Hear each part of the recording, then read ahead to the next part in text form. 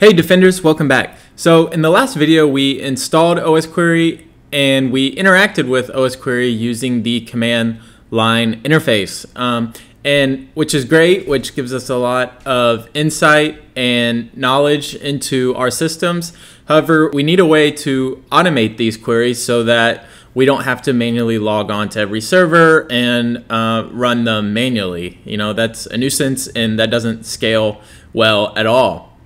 Uh, thankfully, OS Query has a daemon that we can take advantage of, and we can actually pair this with Wazuh's uh, Wodle capabilities so that Wazuh is actually running the daemon for us. And that way, our queries run on set times, and that process is automated for us and is then pumped into our Wazuh manager and into Elasticsearch for us to query and alert on, right? So this will give us the flexibility to automate this action and as as well as scale out uh, much much easier, right? Rather than having to manually log on to every server and run the queries yourselves.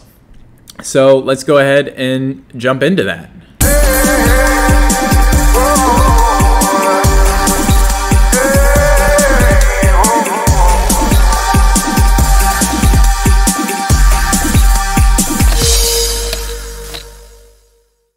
And all right, so I have my OS query server here.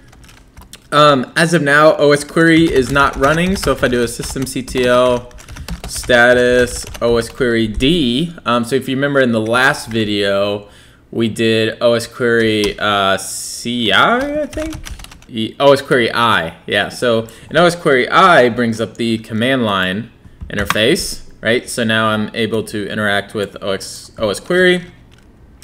Uh, if I exit out of this guy uh, and then kill this process, we can now set up the Wazuh agent to run the OS Query daemon for us. So OS Query I is the command to interact with the CLI.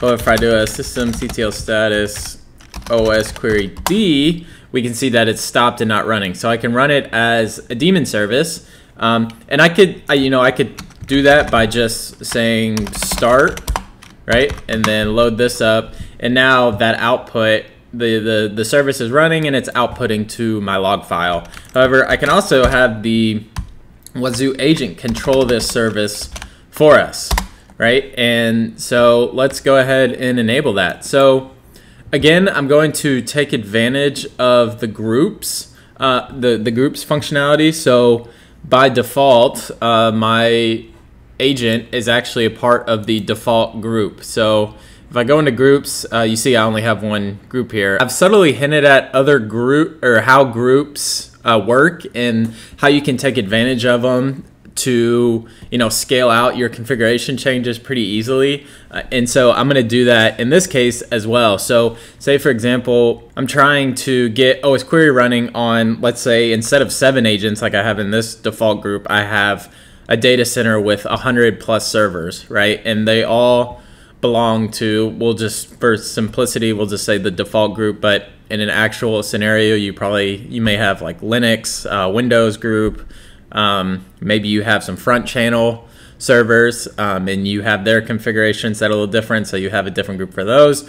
Um, but what the this will allow us to do is I can interact with the configuration file and this will push out to all of my Wazuh agents that are a part of this group. So instead of manually logging on to every server within the group and saying open up the var ossec etc ossec.conf right? So instead of manually logging on to every server and doing that, what I can do is make a config change within the group here, and that will push out automatically for us. Um, so we can see that process work. If I go ahead and tail this log file, um, and I'll just kind of keep that in the background. So let's actually go ahead and enable this. And to enable it, it's pretty easy. Um, so I'll go into the files in my group, go into my agent.conf, and you can see I already have a few um, I have some few configs here um, that aren't related to, to this demo, so we um, so you guys don't need to worry about that. And then what we're gonna do is add the Wodle tag. So I should already have that copied within my buffer. So if I paste here, Yep, we now have this WODLE tag. Um, so let's go ahead and walk through this. So this is specifying that we're using the OS query WODLE, and uh, this the the functionality of the OS query WODLE is built into Wazuh. I didn't do anything behind the scenes to activate this, um, which is really nice. All I did was install OS query, right? So we did that in the last video, and um, and make sure a Wazuh agent is on there as well right? And that's all the prep work that I have to do before adding this WODLE block here. So let's go ahead and run through these tags here. So we're saying disabled to no, so we're activating it, right? Uh, run as a daemon, and we're specifying that to yes. So what the Wazuh agent will do is it will actually start the OS query D, the OS query daemon for us right? Which is nice. So it'll, it'll control that, and if if the service fails for whatever reason, it'll uh, it'll attempt to to restart it automatically for us, which is nice. We then have the bin path, uh, which is the binary path. So this will so you need to tell the Wazuh agent where is the OS query daemon uh, located, right? Where is that binary located at? And to do so, you can just do a which OS query D. Uh, you can do this for any service and it'll locate it for you. So if I do a which OS query D, we see that the binaries reside behind the user bin, which is what they have default here. Um, a little tip, so by default, they search for OS query already. So they, they append that to the path location already. So you may think, well, you're just pointing to user slash bin. You're not actually pointing to the binary. Um, and that's within the, the bin path tag here. And that's true because they already add the OS query D onto that. So, um, so we don't have to worry about that. And um, yeah, by default, it should install within user bin, but maybe you compiled it yourself and an easy check to see where that resides is to just run a which. Um, and you can do this for any service, right? So I could say for Python, so if I say which Python, I see it's running here right? And so um, uh, we then have our log path. So we need to tell Wazuh where our, our file, where, you know, where, where's the log file that we are getting results from, right? So uh, by default, again, this is under var log os query, os query dot results dot log. Um, if you compiled os query by yourself or uh, this is a CentOS box, so maybe if you're on a Debian operating system. Um, they may output it to a different log path. Um, I wouldn't think so, but it's worth uh, verifying and checking. So if I cd into my OS query directory, we see our OS query results.log. And if we go ahead and tail that, uh, we can see some of our jobs already running, right? So go ahead and stop that. So you want to just make sure your path to your log file is correct. And unlike the bin underscore path tag, this is not appended by default, so you need to specify that yourself. And then we have the config path, and that config path is meaning the osquery.conf file. So in the last video, we made our changes to that. Uh, so if I etc into osquery, etc osquery, and open the osquery.conf file, you want to make sure that this file exists because this is the configuration settings for osquery. So we're pointing to some ad hoc queries that we've made, right? So in the last video, we specified this root login one to be ran automatically for us. Um, and here's our SQL-like statement to grab the last time the root user logged in uh, within the last hour. And then we have our packs down here below, right? So we also took a look at those in the last video. These packs store a lot of pre-built uh, OS query commands that will be ran for us as well. So you also want to make sure that this packs block is within your osquery.conf so that the Wazuh agent is able to run OS query, right? The OS query daemon. And then the OS query daemon is able to run all these other queries that reside within these packs. Um, so you want to make sure that is set up there as well. So OS query is stopped. Um, let's go ahead and tail the log file again of the Wazuh agent. So I'll go ahead and save this config change. And what we'll see is that the Wazuh manager will push it out to the agent and the agent will actually restart and that'll happen automatically, right? So as you can see, it just received a new config change and is now restarting, which is really nice. So again, if you have a ton of servers within one group, um, this scales really well. So we can make config changes to our whole environment uh, at once rather than having to log on onto every server and doing it manually, which which is a really nice feature to have. Um, and then so we see that the OSSEC, oh sorry, sorry, that's syscheck, never mind. And so we see our OS query WODLE looks to have started. Um, it started well. So this is now the Wazuh agent is now running the OS query daemon. So if we tail that results.log file again,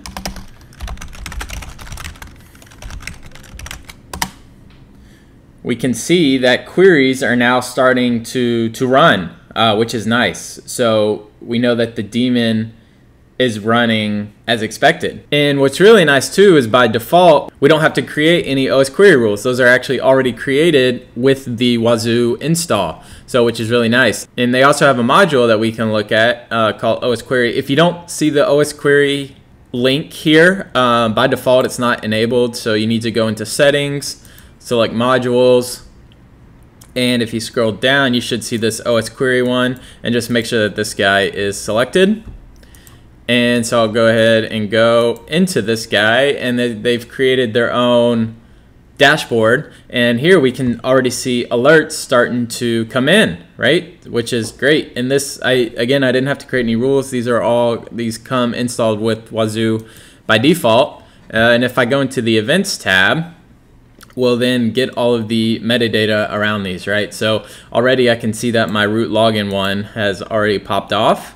And if we open this up and see the metadata, we get similar results to when we were running um, the commands ad hoc, right? So again, it's breaking up into columns. So I can see these. This is the host IP address that logged in as the root user, right? So I'm, I'm getting similar. I'm getting the exact same results as when we run OS query using the CLI. Um, it's just instead of it visually being in a table like it was in the past, we now have that broken out into all of these metadata fields, right? And so these relay to us the same information. So if I want to maybe filter specifically just on root login queries, right? So again, that matches what I have within my config file. So I specified this query here, I gave it a title of root login. And so that's directly what, uh, directly what correlates to the data.osquery.name field. So maybe I want to see all the queries that have been ran for the root login uh, rule. I guess you could kind of think of it as a rule. And so if I filter on that and add that in, this will now filter out and just give us the, the one result. So now we have the ability to store our OS query results, right? And we also have the ability to monitor on these appropriately. And we also have the ability to filter on specific fields that populate a OS query result. And so what's nice is if we go to our GitHub, and if you remember, we had some, if you remember, I provided some, uh, some queries to get you guys started. So say, for example, like this process running without a binary disk, right? Well, this, as we discussed in the last video, can be an indicator of compromise, meaning that there is some malicious process running within memory that doesn't actually have a binary uh, within the file system. So someone is trying to hide that they have a malicious process running within memory um, by not having it actually reside on disk. So this is a query that would find that for us and what we could do is add that to our schedule, right? So just copy and paste what we had here um, and instead of the query being this guy, we would set the query to be this select statement here. That would then come into Wazuh and we could have a automated alert go out to our infosec team if that rule had a positive result, right? So if it actually populated the log with a positive result, that would then be pumped into here, and we could uh, then immediately see that there may be a process running within memory that doesn't actually have a binary on disk, right? And could be a good indicator of compromise. So we now have the ability to automate our OS query queries uh, for us, and we have the Wazuh agent control that for us. And and most of the grunt work has already been done by the guys at Wazuh. So all we have to do is come into our group section uh, and make sure that the config for the OS query Wodle is set into place. And and once you verify that and that the OS query daemon is being started up correctly, uh, you would see if you had any failures, uh, I would suggest tailing the ossec.log file for any debugging that you may need to do. Uh, if, for example, like OS query, like actually, I'll show you an example. So, you know how I said, so if I gave it a bad binary path and saved and pushed this out, we'll see our agent restart. All right, so I got it. Uh, new restart, and we then see our error for our OS query Wodle, right? Couldn't execute OS query, check file and permission, so it, it can't find the binary, right? And that's specifically here because I put this garbage in that um, doesn't actually exist. So this is a good log file to tail when you're making this config, uh, just to make sure that everything's running correctly. And really for any Wazuh agent related debugging, um, this is a good log file to, to tail.